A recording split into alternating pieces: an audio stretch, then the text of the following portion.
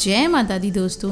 तो कैसे हैं आप सब? तो दोस्तों, आज मैं आपको एक ऐसी दिव्य वस्तु के बारे में बताऊँगी जिसके इस्तेमाल से आप हमेशा के लिए माला माल हो जाएँगे दोस्तों।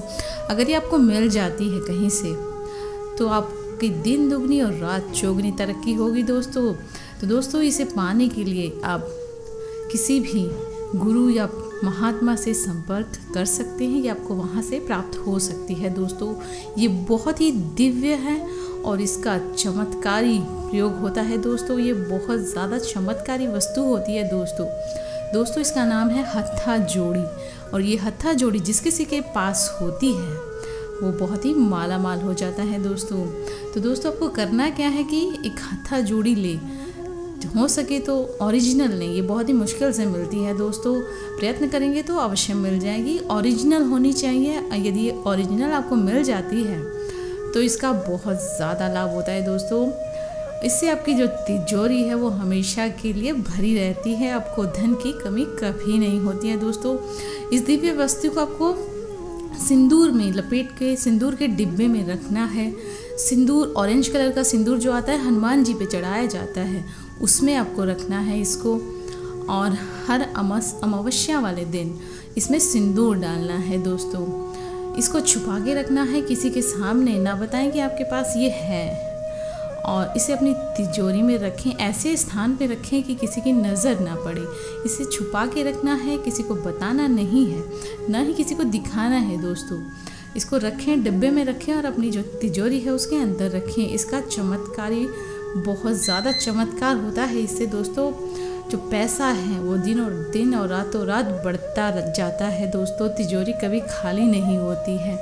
हथा जोड़ी बहुत ही प्रसिद्ध, चमत्कारी वस्तु है दोस्तों। ये एक वृक्ष की जड़ होती है, ये लकड़ी होती है। दो हाथों जैसा इसका शेप होता है, हाथ के जैसे बनी होती है। ये यदि आपको ओरिजिनल मिल जाती है तो बहुत ही ज़्यादा अच्छा है दोस्तों। कोशिश करें कि आपको ये ओरिजिनल मिल जाए। यदि आपके पास ये ओरिजिनल वाली है तो आप बहुत ज़्यादा धनवान हो जाएँगे माला माल हो जाएँगे दोस्तों। हथा जोड़ी को पाने का प्रयत्न करें और अपनी तिजोरी को हमेशा के लिए भरा रखें दोस्तों। इसमें सिंदूर डालना ना भूलें।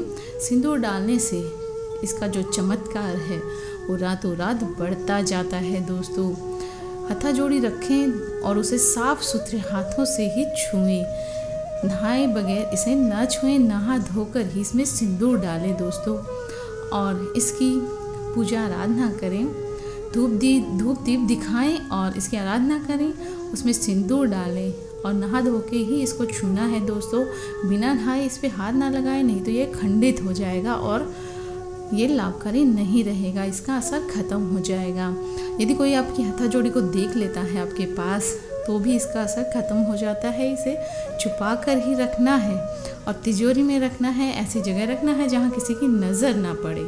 तो दोस्तों, ये बहुत ही दिव्य और चमत्कारी वस्तु है। इसे अपने घर लाएँ और अपनी तिजोरी को हमेशा के लिए भरा रख लें दोस्तों। तो दोस्तों, अगर आपको ये मिल जाती है तो आप माला माल हो जाते हैं दोस्तों। इसलिए हत्था जोड़ी को अपने घर अवश्य लेके आएँ और माला माल हो जाएँ दोस्तों। तो दोस्तों, अगर आपको मेरी वीडियो अच्छी लगी हो तो मेरे चैनल को लाइक करें, शेयर करें, सब्सक्राइब करें और बेल आइकन को दबाना ना भूलें। जय माता दी।